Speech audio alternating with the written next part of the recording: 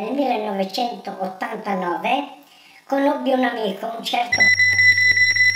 il quale lavorava ai cantieri. Mi disse che aveva ereditato un progetto un nuovo sistema propulsivo per i natanti che un triestino nel 1927 che lavorava all'assemblaggio della Ford T, quello che i farmaci americani utilizzavano negli anni 20 e 30, studiando e, e pensando concepì un sistema propulsivo basato non più sull'elica che arrivato ad un certo punto attraverso la gravitazione perde la spinta e per cui si annulla il suo effetto, ma studiò e capì che le turbine Pelton, cioè quelle turbine che noi siamo soliti vedere nelle, nelle cascate dove si produce energia elettrica, per cui questi cucchiai raccolgono l'acqua in caduta e fanno girare la turbina. Lui non ha fatto altro che lo speculare, cioè ha rovesciato la turbina, cattura l'acqua e provoca una spinta, perché c'è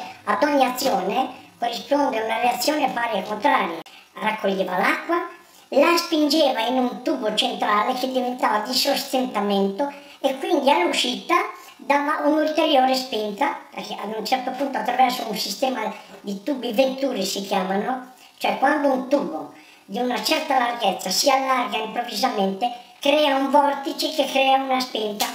L'inventore chiese all'allora duce Benito Mussolini di poter utilizzare la vasca di La Spezia, la vasca militare.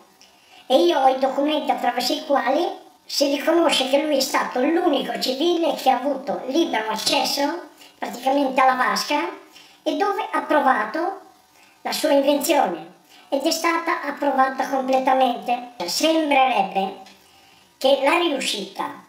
eh, di questo brevetto, che eh, diciamo portava a oltre 50 nodi la velocità dei mezzi, avesse provocato in supermarina, cioè nella marina militare italiana,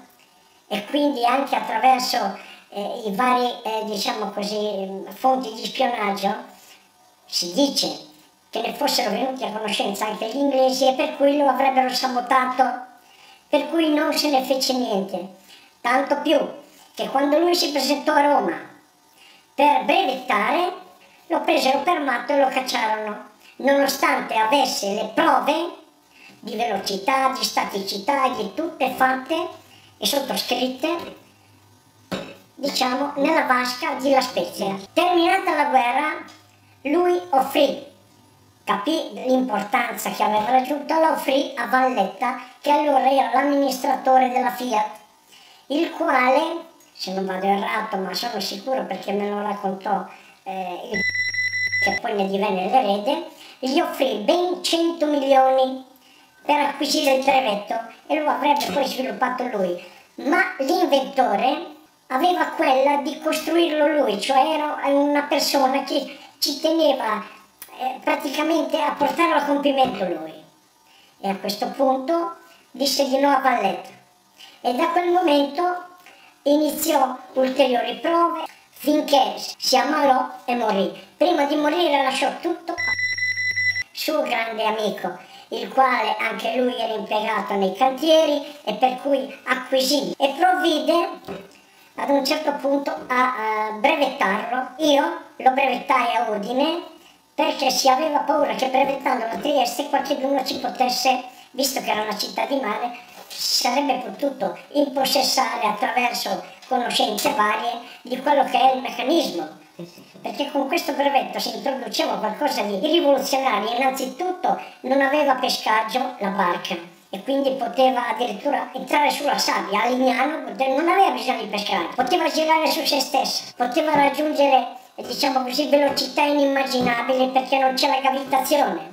Non aveva timone che frena, aveva una stabilità enorme. A questo punto il Potocnik volle fare il salto di qualità, quindi volle sottoporre alle vasche di prova più grosse del mondo, cioè quelle olandesi, dove si trovano le più grandi navi sia militari che civili, e raccolse, diciamo così, dei finanziatori che finanziarono l'operazione e quindi per quattro mesi diciamo, il prototipo fu studiato nelle vasche di prova in Olanda. Fu costruito un prototipo non a trazione ma con motore diretto, per cui vi era un motore interno che può essere elettrico, può essere a nafta, può essere a benzina, quello che si vuole, che trasmette il movimento alle pelton cosiddette le quali si mettono in moto, catturano l'acqua, la spingono all'esterno, il sistema Westinghouse, il Westinghouse è stato introdotto diciamo appena prima della guerra, ma lui l'aveva già introdotto, per il comando, per i vari comandi